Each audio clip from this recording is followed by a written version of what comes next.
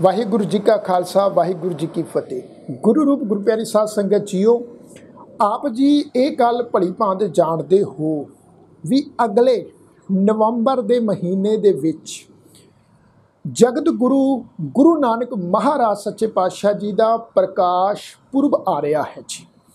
ਤੇ ਮੈਂ ਅੱਜ ਦੇ ਇਹ ਪ੍ਰੋਗਰਾਮ ਰਾਹੀਂ ਆਪ ਜੀ ਨੂੰ ਬੇਨਤੀ ਕਰਨਾ ਚਾਹਾਂਗਾ, ਜਿਹੜੀਆਂ ਸਿੱਖ ਸੰਗਤਾਂ ਨੇ ਹਾਲੇ ਤੀਕਰ ਗੁਰੂ ਗ੍ਰੰਥ ਸਾਹਿਬ ਮਹਾਰਾਜ ਜੀ ਦੀ ਪਾਵਨ ਅੰਮ੍ਰਿਤਮੀ ਬਾਣੀ ਦਾ ਸਹਿਜ ਪਾਠ ਰੰਭ ਨਹੀਂ ਕੀਤਾ। ਉਹ ਸਿੱਖ ਸੰਗਤਾਂ ਜਰੂਰ ਸੁਣੋ।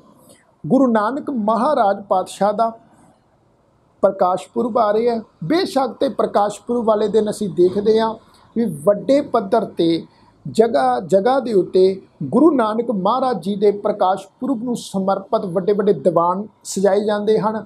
ਵੱਡੇ ਵੱਡੇ ਪੱਧਰ ਤੇ ਲੰਗਰ ਲਗਾਏ ਜਾਂਦੇ ਹਨ, ਜੋੜ ਮੇਲੇ ਹੁੰਦੇ ਹਨ। ਇਹ ਸਭ ਕੁਝ ਹੁੰਦਾ ਹੈ।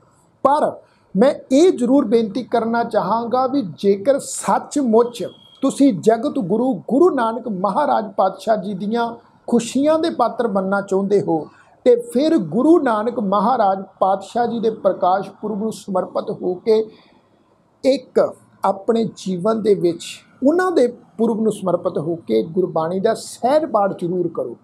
ਲੰਗਰ ਛਕਣਾ ਜ਼ਰੂਰ ਛਕੇ ਉਸ ਦਿਨ ਜਾ ਕੇ ਦੀਵਾਨ ਅਟੈਂਡ ਕਰਨੇ ਨੇ, ਜ਼ਰੂਰ ਕਰਿਓ। ਪਰ ਗੁਰੂ ਨਾਨਕ ਸਾਹਿਬ ਦੀ ਖੁਸ਼ੀ ਦੇ ਪਾਤਰ ਤਾਂ ਅਸੀਂ ਤਾਂ ਹੀ ਬਣਾਂਗੇ।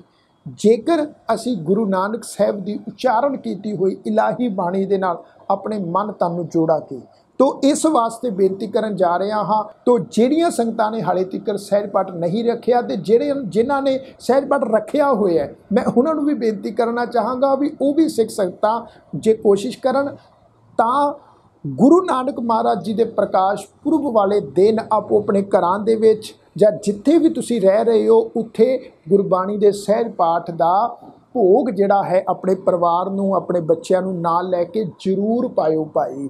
ਤਾਂ ਜੋ ਭਾਈ ਗੁਰਦਾਸ ਜੀ ਦਾ ਇਹ ਜਿਹੜਾ ਕਤਨ ਹੈ ਵੀ ਘਰ ਘਰ ਬਾਬਾ ਗਾਵੀਐ, ਵਜਨ ਤਾਲ ਮਿਰਦੰਗ ਰਬਾਬਾ ਇਹ ਕਥਨ ਵੀ ਜਿਹੜਾ ਹੈ, ਉਹ ਸਾਡੇ ਜੀਵਨ ਵਿੱਚ ਸੱਚ ਹੋ ਸਕੇ। ਸਾਰਿਆਂ ਦਾ ਤਹਿ ਦਿਲੋਂ ਧੰਨਵਾਦ। ਜੇ ਅੱਜ ਦਾ ਪ੍ਰੋਗਰਾਮ ਆਪ ਜੀ ਨੂੰ ਪਸੰਦ ਆਇਆ ਹੋਵੇ ਲਾਈਕ ਜ਼ਰੂਰ ਕਰਿਓ ਕਮੈਂਟ ਕਰਕੇ ਆਪਣੇ ਵਿਚਾਰ ਜ਼ਰੂਰ ਦਿਓ ਤੇ ਵੱਧ ਤੋਂ ਵੱਧ ਸੰਗਤ ਦੇ ਨਾਲ ਜ਼ਰੂਰ ਸ਼ੇਅਰ ਕਰਿਓ ਜੀ।